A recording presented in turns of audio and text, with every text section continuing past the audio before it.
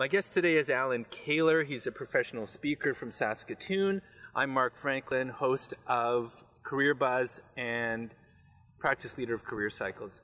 Allan, thanks for uh, joining us here this afternoon. Happy to be here, Mark. So, you just gave a great talk here at the Your Workplace conference, and one of the quotes that you started with was from Robin Williams All it takes is a beautiful fake smile to hide an injured soul. How does that speak to you? How does that relate to your story? Well, I think I can relate to that in a number of ways. And I was always the individual who wore the mask, and the world was literally my stage. And the story that I would share on the outside was very different than the one that was on the inside. And as, as I alluded to earlier, I was the president of the school, athlete of the year, captain of sports teams, but on the inside was that very different story, struggling with mental illness, addictions, and it was lonely and it's exhausting to wear that mask. And I think a lot of us sometimes have to wear that mask to, to perform, but it's also important to remove the mask at the end of the day and take a look at what's actually going on inside. You gave the example in your own story of one individual who really helped, who paid attention, who listened. And, and I think that's what we want to talk about now is how that happens. First, in your own story, how is it, who, who helped you? How did that happen? Ian McNeil was the one man who changed my life literally in only 10 minutes. And I think that we all have those basic needs see me, hear me. And uh, for Ian, he approached me.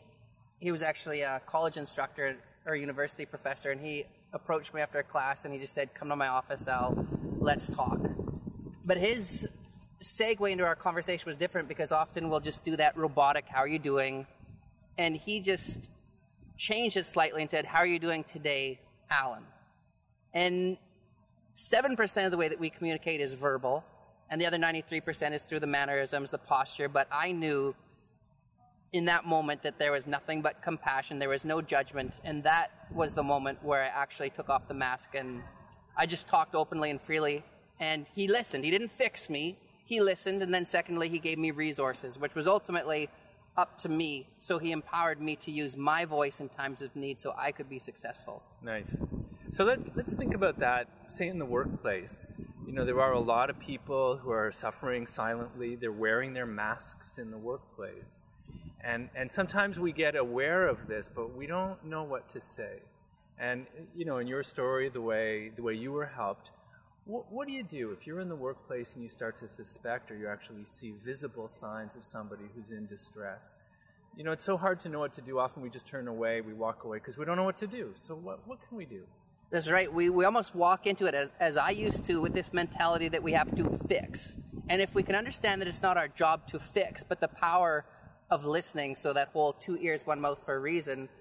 And exactly like you said, if you were to walk into a room and see a woman with her head on the table crying, or if it were a, a man with his head on the table crying, what's the approach? And I think for me, what I've learned is just to say, I don't mean to pry, but I just want to let you know I'm concerned. And I'd be more than happy to listen if you ever needed to talk. And that's powerful because now they know that they've been seen and they know that there's a place where they can go to be heard. And ultimately, whether or not they act on that invite is completely out of your control. But having said that, if they do act, that we just sit back and allow them that opportunity to listen because I think that everybody is begging to get some of that stuff into the light, but often they don't trust. They don't trust for very good reason, and that's that whole saying, two ears, one mouth for a reason. And later, for you, you know that at least you did something. Right? You can't control what people do eventually, but at least you know that you did something and you won't regret having said nothing. That's exactly it. And I, I shared that before too with the, the biggest takeaway for me losing my best friend to suicide was that. In those moments, say and do everything so you don't have to look back thinking should have done more because guilt guilt is uh, a useless emotion you know and, and if we understand that we all just want to be seen and heard, why not take that opportunity? I love the uh, the four powerful words. You know, so let's take this story. Let's say sure. you go, you see that uh, that woman in the workplace, and she has her head down, crying, and you go up to her and you say, uh, "I don't mean to pry. I just want to let you know I'm concerned. Uh, I'd be more than happy to listen if you ever need to talk." Those were your strategies. Yeah. And then what happens when she says, "You can't possibly understand"? So I think that everybody's walls are up and they're up for good reason. But the moment that you say, help me to understand, then you'll see and feel a shift in energy. And once it's back to them, and and they begin to talk, then it's inevitable that healing will take place. Beautiful.